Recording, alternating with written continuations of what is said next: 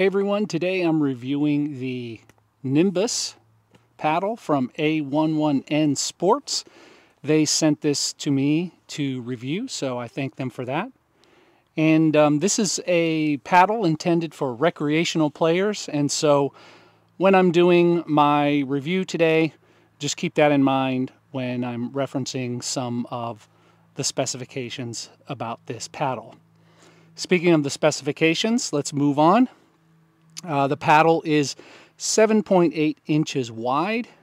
It's 15.7 inches long. The grip length is 5 inches. The grip circumference is 4 inches. The core is 12 millimeters. And it's got a graphite face. So let's move on to the pop and power of this paddle. Well, because of the 12 millimeter core, it definitely has a lot of pop. You'll feel the ball pop off the face of the paddle quite a bit, um, which is going to make dinking a little difficult. It does, however, lack some power. We'll get back to that a little bit more when we talk about the weight of the paddle, um, because I think that's probably contributing to the power of this paddle more than anything else. But I didn't really feel like I could generate um, as much power as I could with this paddle as I can with some of the other premium paddles that are out there, and that's to be expected. So the spin and control of this paddle, well, like I said, it's a recreational paddle. They're not taking in consideration an amateur player who might be playing in tournaments or who wants to improve their game. This is aimed at people who just want to have a set of paddles to go out and play play with while they're on vacation or maybe use with their kids who might not really be interested in pickleball, but uh, you know they're going to begrudgingly play with their parents. So you're not going to get a ton of spin with this. Um, certainly, if you're slicing at it with the paddle, you'll you'll generate spin. That that's kind of normal, but you're going to lose the control that you would normally have with a paddle that's got a grit or a textured surface. So when it comes to the weight of this paddle, the specifications that they sent to me were that it was 7.8 to 8.2 ounces, give or take uh, half an ounce or half a gram. I'm sorry, half a gram. Mine weighed in at 8.3 ounces, so it's beyond the, the, the general weight of this paddle. I think because of that weight, because it's on the high end, this paddle is the power that it is generating is coming from the weight of this paddle and that certainly affects the speed of the paddle as well.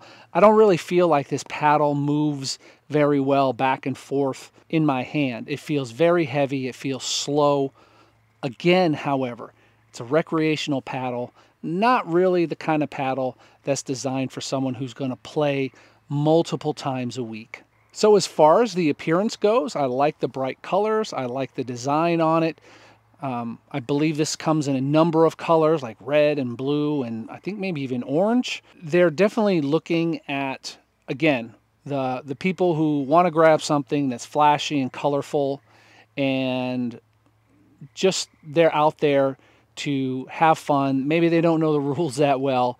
Uh, again, they're a recreational player and they're not going to be playing with any kind of regularity. The grip feels good, even though it, it is short for my hand, but it does feel good in my hand. I don't, when I squeeze on the handle, I don't feel any sharp edges. And I've had some premium paddles where when I squeeze, I feel a sharp edge. So this is feels really good in my hand, despite the fact that it's short. And I mean, you know, two-handed backhands are going to be mean, you can see there how much my hand is hanging off of the edge of the paddle, and I'm pretty choked up on it. And if I get way down there, so it's definitely a short paddle, short handle paddle. Recreational players probably aren't going to be doing two-handed backhands or forehands, so it makes sense um, that they made that design choice. So let's talk about some of the accessories that come with these paddles. Um, you get in the package that they provide, you get two paddles, you get four balls and you get a bag to carry all of that equipment in. So that's really nice.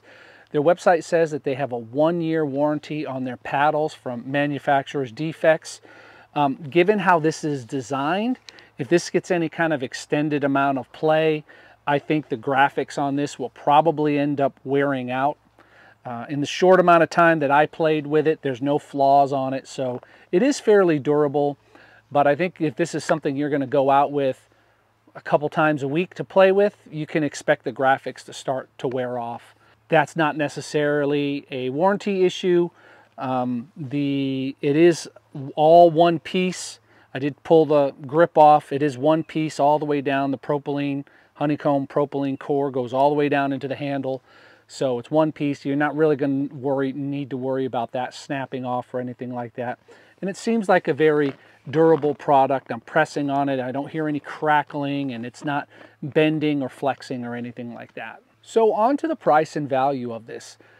A11N Sports just released these paddles and you can get the set for $59.99. Like I said, that includes two paddles, a bag, and four balls.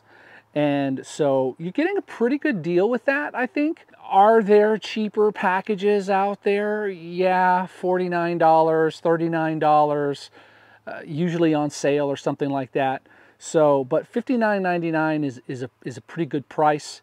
And I think you'll find that um, for the recreational player, for someone who just wants to get out there and dink the balls around for a little bit, that's a fairly reasonable entry level for someone who just wants to maybe play on the weekends or something like that. So who is this paddle for? Well, it's definitely for the recreational player, the beginner. If it's a beginner whose aim is to improve and actually make this um, a regular thing for them. A11N Sports has some other paddles that might be a better option for them.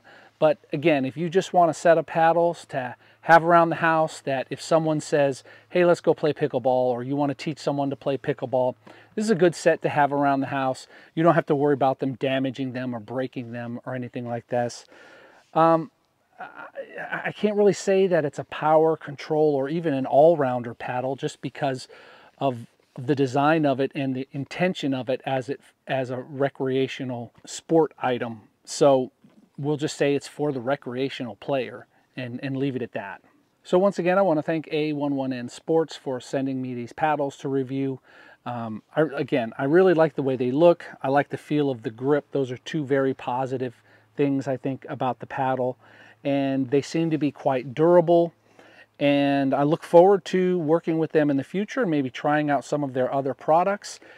I would recommend this again to anyone who wants to have a set of paddles hanging around for the kids, the grandkids who might not really be into pickleball but just want to hang out with uh, mom and dad or grandma and grandpa and uh, for someone who doesn't want to have to worry about handing a paddle over to someone and it's going to get damaged. Uh, you know, you got a hundred dollar paddle. You don't probably want to give that to someone who might break it. So a, a good product for that. And for, for that person who's just maybe, you know, going to go out and play a couple games on the weekend while they're at uh, on a picnic in the park or something like that. So uh, that's it from me right now. The next paddle that I have to review is one that I've really been anticipating. I'm not going to uh, share what that is right now, but I'm really looking forward to sharing that review. And until next time, I'm John, your Gen X grandpa. Bye.